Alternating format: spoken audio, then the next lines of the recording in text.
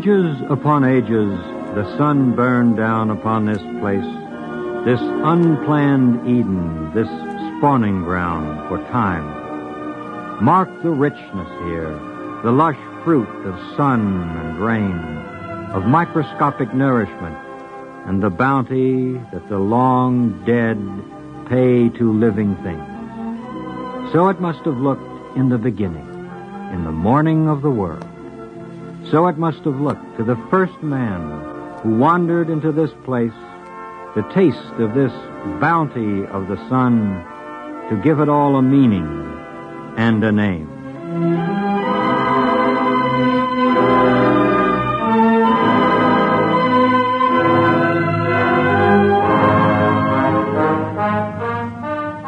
National Broadcasting Company, in cooperation with the Alfred P. Sloan Foundation, presents Bounty of the Sun, the story of the citrus industry in Florida and of a 20th century discovery of a fountain of youth. This is the fifth in a series, Heritage Over the Land, documenting what we believe to be one of the most remarkable developments of our time the rebirth of the American South. A short time ago, Henry Cassidy, a distinguished foreign correspondent, led an NBC documentary team into what was for him a new and undiscovered land. The hills, the plains, the twisting roads that stretch below the straggling line of Mason and Dixon. Here with his fifth report on this modern odyssey is Mr. Cassidy. When the ill-fortuned Ponce de Leon first ventured ashore on the coast of Florida, he was seeking, so they tell us, the fountain of eternal youth. The Indians had told him that somewhere in the jungle there lay a magic spring, a thing of clear, bubbling water, where whosoever drank would know eternal youth. The poor, deluded conquistador wandered the length and breadth of this land, drank of a hundred springs and brooks, but he died, one fancies with some resentment, at a respectable old age. Across the centuries, we should like to advise him that while his search was an impossible undertaking, he was considerably closer to success than he could have dreamed. Oh, I'm an old man, and uh, I just loaf. I played golf until I was 75 years old, and then I had to stop. Then what do you do? You, you sit and talk to the people in the lobby? Yes, and read. I would think that you, Mr. Means, as one of the first tourists ever to come to Florida, has seen as much as anybody has. Uh, we came to Lakeland uh, practically every time we came to Florida because my wife had an uncle that lived here, and uh, he was postmaster and lived to be 96 years old. And that is Florida, or part of it, this year of grace, 1954. The fountain of youth that old Ponce de Leon searched for has kept its secret, but there is other magic here, the magic of sun and wind and long white beaches, and on the level lands that stretch away toward the interior, a wizardry that the ancient ones would not have dared to dream. When the story of American industry comes to be written, there will have to be a chapter somewhere on this development, the process whereby fruit juices are concentrated and shipped, fresh as the moment the liquid was squeezed from the fruit, to markets a continent or more away.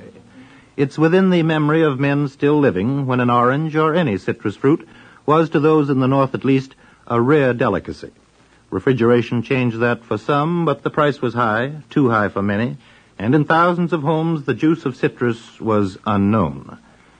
Then suddenly, it seems, a new development, frozen concentrates.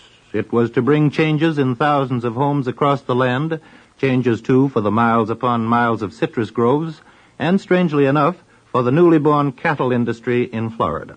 Well, like so many stories, it really goes back quite a little way. I believe the first uh, citrus juices to be concentrated uh, were concentrated in Italy before 1900, and it was concentrated by freezing.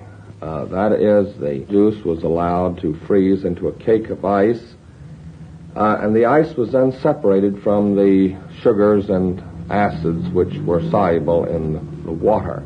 The Northerners, uh, I don't know whether they still do it, but used to make applejack in Jersey. They'd take a barrel of hard cider and put it out in the back in a winter day, and the water would freeze out of it and leave a core of uh, alcohol in the middle, which they would dip out. I have heard they're still doing that, Doctor. I see. Well, uh, applied to citrus, uh, uh, you get a concentrated product that way. This is L.G. MacDowell, Research Director of the Florida Citrus Commission at Lakeland, Florida. Here, for me at least, the story began, a story we would follow across the length and breadth of this state, a story whose ending is not yet in sight. More recently, however, the orange juice was uh, concentrated by evaporation of water from the juice by boiling. Now, as you know, water boils at 212 degrees Fahrenheit. Uh, however, if you boil orange juice at this temperature, you would get a cooked taste. A lot of work the last few years has been on the reduction of the temperature at which this boiling takes place. Now, to do that, you have to lower the pressure above the boiling juice. So at the present time, the water is boiled off of the juice at temperatures of about 75 degrees Fahrenheit. The gimmick in this frozen concentrated orange juice was the idea of carrying our concentration past our normal stopping point and then adding freshly extracted orange juice to the concentrated juice to dilute it to the final concentration that we wanted mm-hmm. and then freezing the mixture. And that was successful in adding the bouquet back to the concentrate. In the beginning, the water was removed by freezing. Uh, now the technique is through vapor, through steam, which is water in the vapor phase. The resultant product is then frozen merely to preserve it.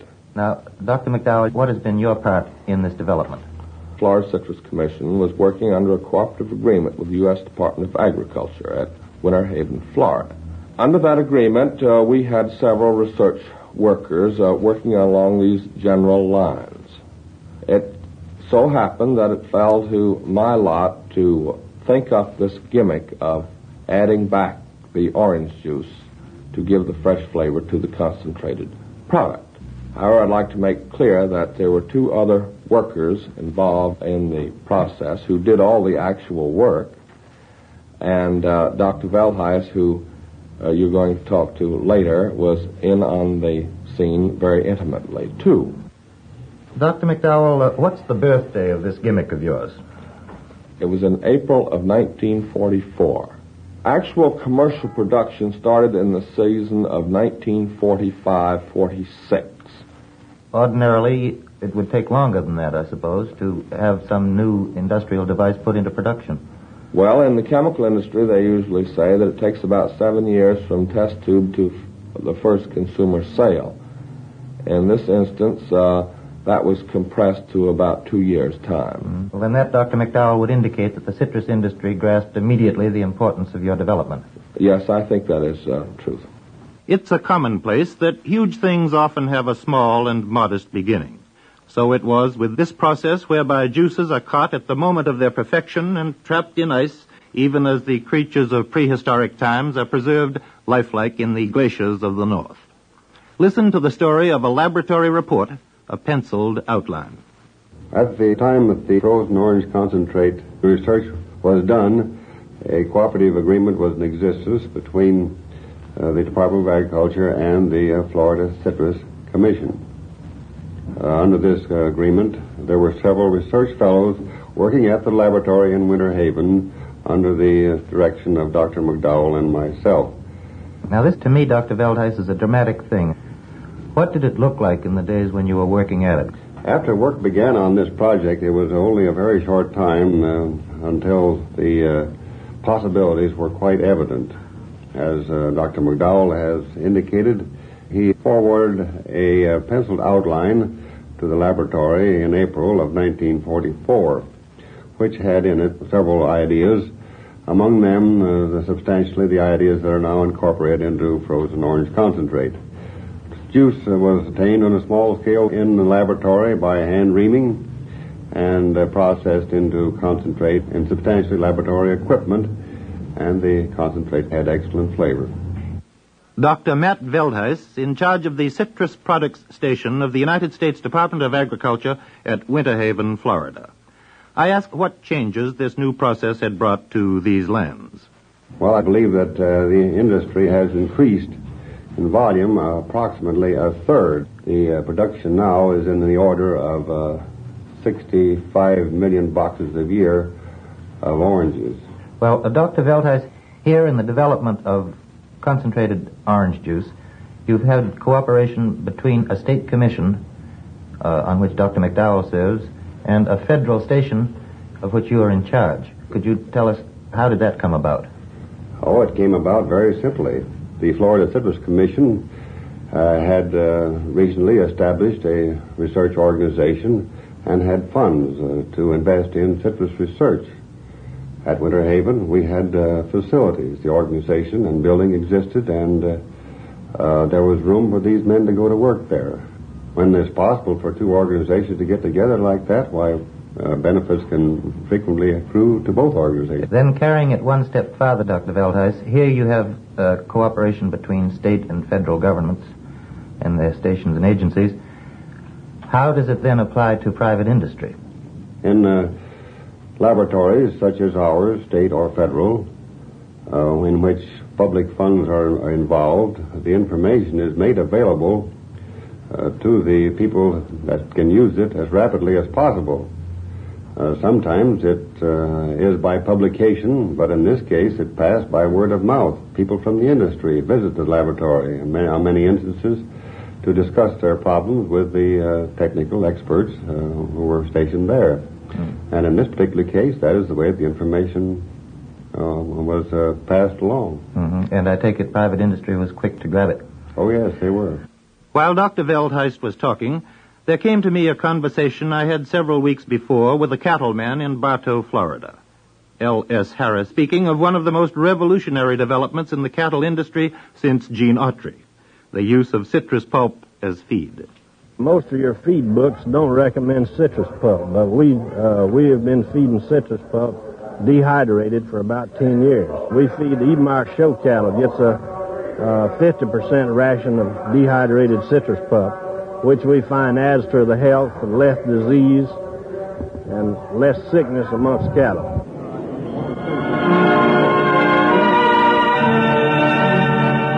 In 1920, the production was about 15 million boxes. Last year, it was almost 120 million boxes, so that's doubling every 10 years practically. The new developments in the industry, it's been everything except static. Well, what would that land have been in before? Oh, it was undeveloped land. Today, the acreage is around 438,000. Well, that was 1950-51. And uh, 62,000 was non-bearing. We've been planting new acreage at the rate of about 15,500 acres a year. Some people estimate that by 1955 it'll approach a half a million acres. That was Robert Evans, general manager of the Florida Citrus Commission. Production doubling every 10 years. Already they're planning for the time when there will be half a million acres. That's big business. Compare it with tobacco in Virginia or North Carolina. Compare it with cotton acreage in Georgia, and it's still big. I remember one day walking through a grove on the outskirts of Winter Haven, Florida. With me was Mr. Tom Swan, the owner of these acres that stretch like some orange-colored sea beyond the horizon. The sun beat down with a harsh benediction until it seemed you could almost hear the growing things. We have about 1,600 acres. A portion of it is young grove, and a total about 350,000 boxes. What would the value of that be, roughly, Mr. Swan? Two? This year, it's uh, perhaps worth twice as much as it was last year on the tree, just about. How long have you had your groves, Mr. Swan? The grove, uh, one grove, my father bought in 1908. That was the beginning. How did the groves expand from there to, to this? Buying land, clearing it, setting, growing the trees, setting young grove, hmm And are you still expanding? and we're still slowly. About uh, 50, 60 acres a year. Well, that's a real steady growth. Mr. Swan, do you have anything to do with this concentrated orange juice that they're telling us about down here? I'm president of a cooperative organization which has a, a manufacturing plant. They make uh, frozen concentrated orange juice. In addition to growing, you're also participating in the manufacture of concentrated orange juice. That is correct. Well, how did that uh, come to you, Mr. Swan? Well, it happened that I was on the acting chairman of the commission at the time the development took place. I hired Dr. MacDowell, and he did the research. Then here you have a complete chain of events. You men, orange growers, stimulated through your commission the research that led to actual creation of concentrated orange juice. Then it came back into your hands, and you men who grow the oranges also operate the manufacturing plants for the concentrate. That's right. I must say that it's a modern miracle.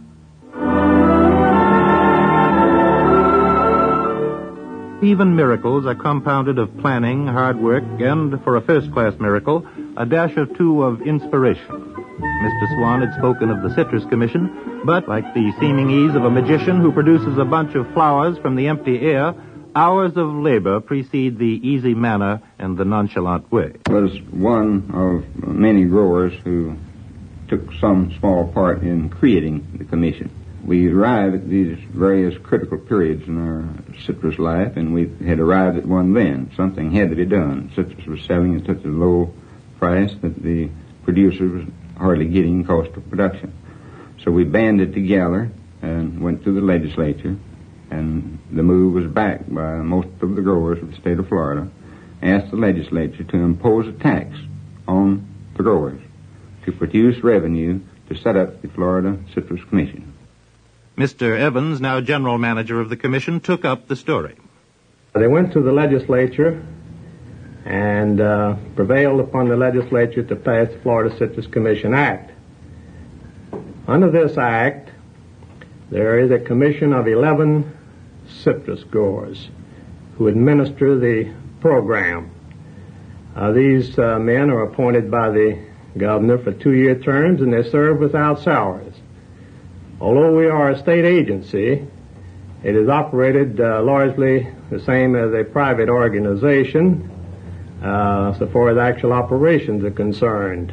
The primary objective of the Commission is to improve the welfare of Florida citrus growers. In setting up this act, it provided that the Commission would carry on work on uh, advertising and promotion of Florida citrus fruit and on research. Mr. Evans, all of this work that you're doing takes money. Was, where does the money come from? When they thought that this program was needed in 1935, the Florida citrus growers, uh, a group representing most of the industry, got together and decided that uh, they needed this program, and the only way to put it in effect would be through a an act of the legislature under which all growers would pay a part of the cost.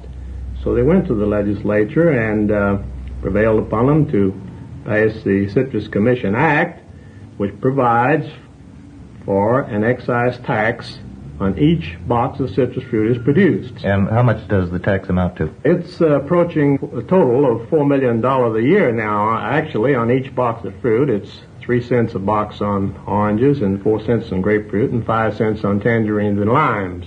So this is a, a really rare case where a group of farmers has asked for a tax to be imposed on themselves. That is correct. Listen to this voice. Robert Rutledge, General Manager of the Florida Citrus Mutual. From 1930 to 1940, the citrus crop doubled. And then from 1940 to 1950, the crop doubled again. And brings us up to uh, over the 100 million box mark.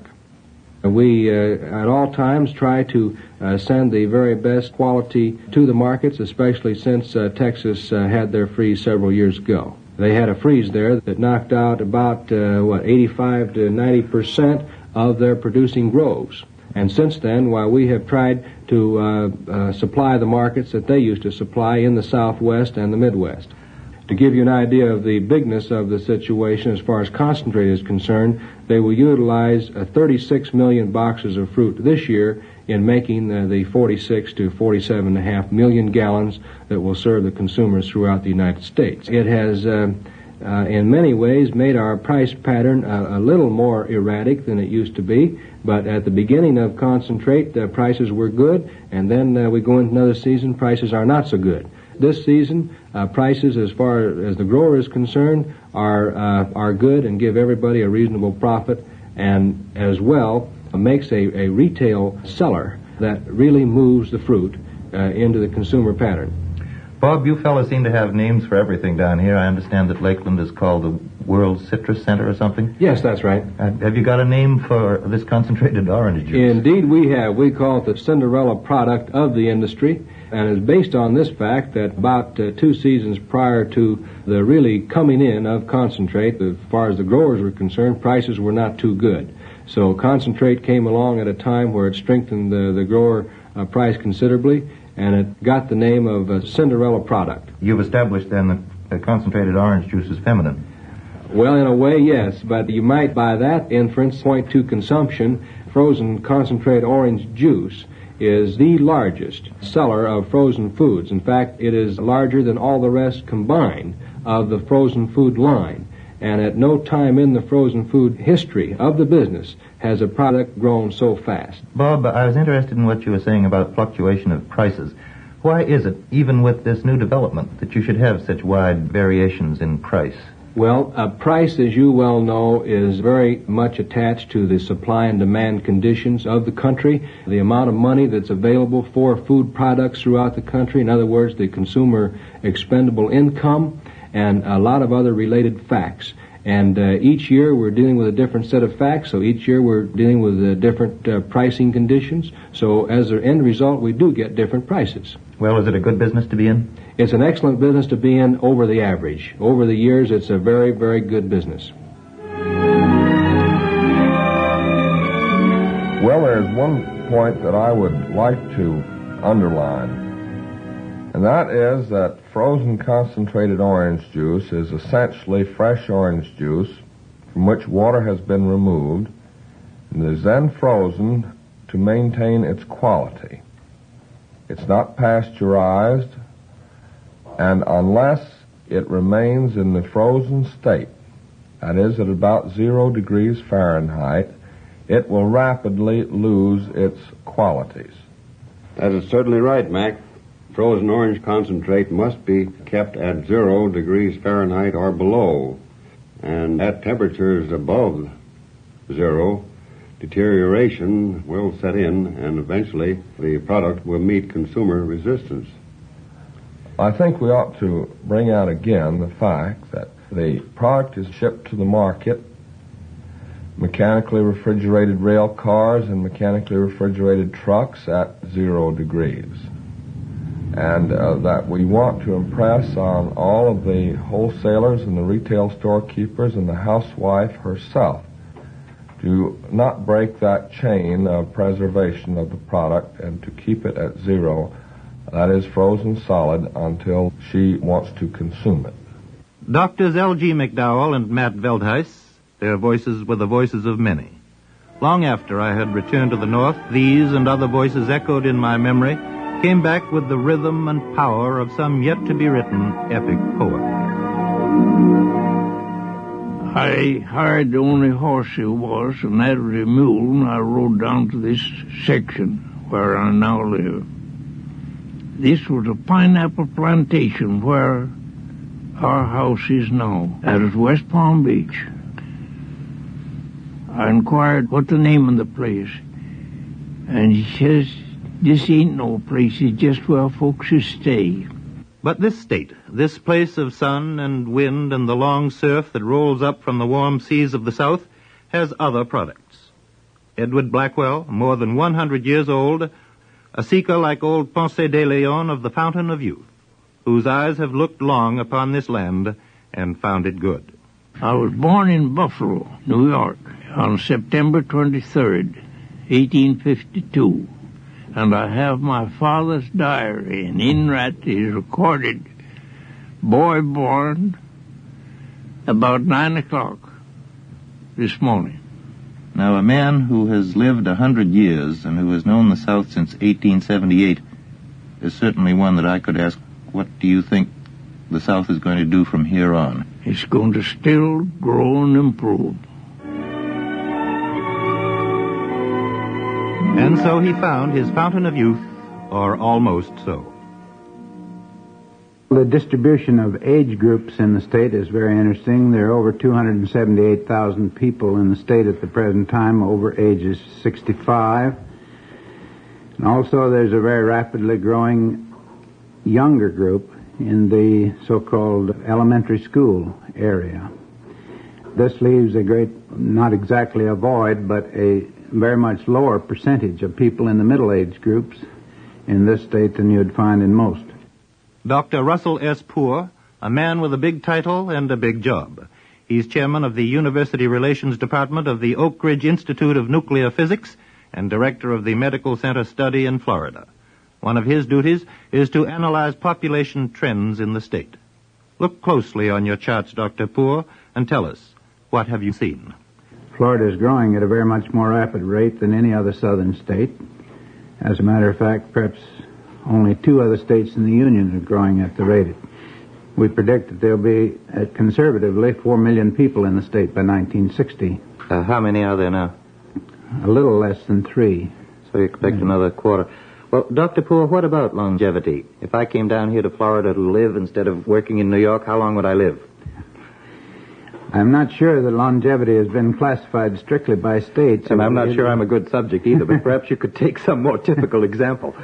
of course, uh, longevity in the last 10 years has increased tremendously, as you know, so that the average age expectancy is somewhere around 68, in contrast to its uh, something like 12 to 15 years less than that 10 years ago. Of course, we feel that the sunshine of Florida is conducive to this kind of thing. Consequently, in our planning, it, we have thought of our project here as the planning for a health center with the emphasis being upon prevention rather than upon the treatment of disease.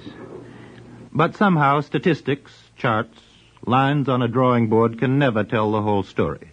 Let's go back to Lakeland, to the front porch of a local hotel and the charming, elderly lady who was gracious enough to chat for a while with the inquisitive man with the microphone and the questions. Could I ask your name? Mrs. Catherine Ricker.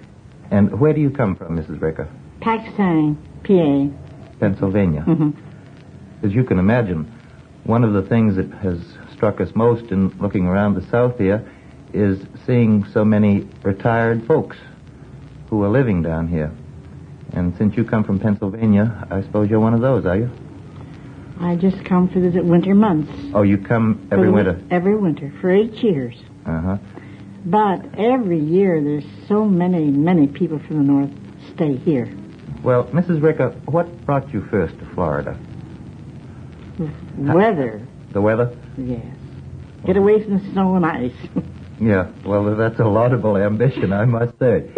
Tell me, Mrs. Ricker, how, how do you spend your day?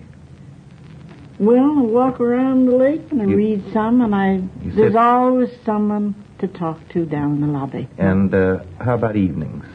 Do, do you go we to... play cards every night. Are they other people from the north? Oh, from all over. Chiefly from the Midwest. They come from Michigan and Wisconsin and Ohio, Kentucky, down through there. Well, Mrs. Ricker, you say that you meet a lot of folks in the lobby of the hotel. What kind of folks? Most all retired. They're all old people, older people. Uh, and what would they have been doing before they retired, most of them? What kind oh, of business were they in? some they of them are doctors, some of them are dentists, and they're businessmen. And you get to know them well down here. Oh, very, very. We're just like a family. This, then, was the land that we saw. This unplanned Eden, spawning ground for time, now host to those who have learned to laugh at time. Ponce de Leon sought miracles here, but we later voyagers found the miracle. It was we who drank of liquids that defy the crawling hours, the days, the years. You came too soon, Senor de Leon. The miracle you thought was not yet come. It was for us to catch the dream and the fulfillment, to find the bounty of the sun.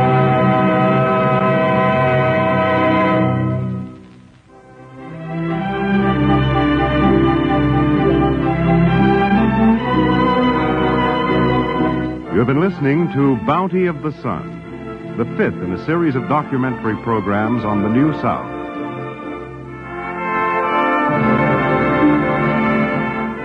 These programs are written and directed by William Allen Bales, produced by Miss Lee F. Payton, and brought to you in cooperation with the Alfred P. Sloan Foundation.